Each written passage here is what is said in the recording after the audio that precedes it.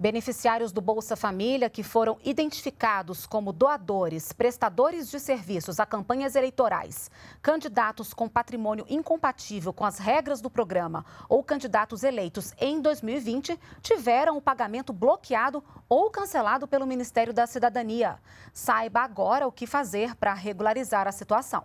Essas famílias tiveram seus benefícios bloqueados e cancelados e serão avisados por meio de mensagem no extrato de pagamento elas devem procurar o CRAS ou um centro de atendimento do Bolsa Família em seu município e realizar atualização cadastral.